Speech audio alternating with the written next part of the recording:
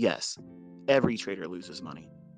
But those losses won't incur to a degree where they lose their mind because they understand how they wreck themselves because, oh, I'm doing more trades than I should because I'm worrying about that bad feeling of that I have a losing trade.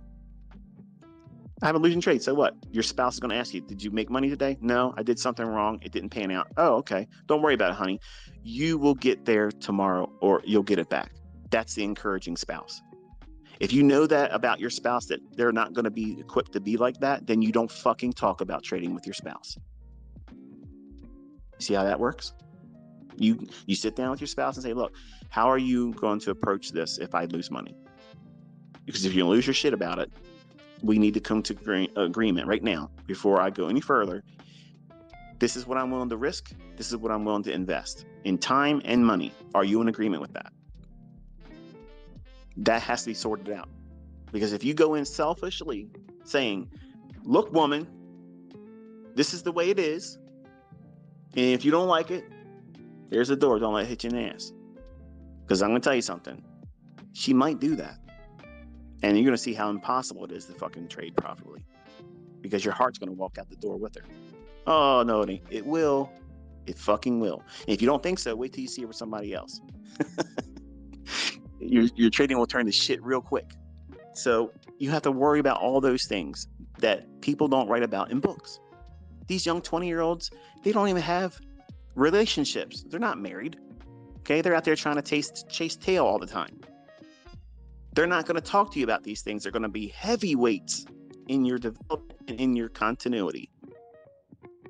But as a 50 year old man, two marriages, five kids, two miscarriages, I have endured some things. And I know how those things impacted me. And I'm not ashamed to tell you how they impacted me because it's raw and it's real. And I know that there are people out there like me and have got it worse. See, I didn't have to pay child support when I got with that gold digger because I took extreme measures. But we had joint custody.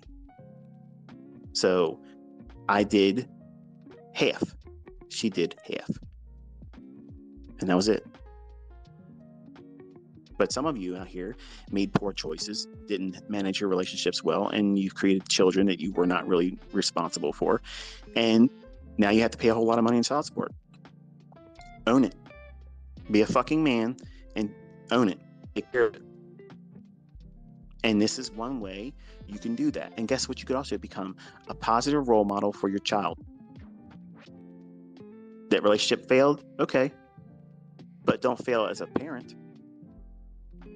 But if you have those things wrestling with, you know, all these failures in life, they're going to weigh on your decision making. They're going to weigh on your development as a student.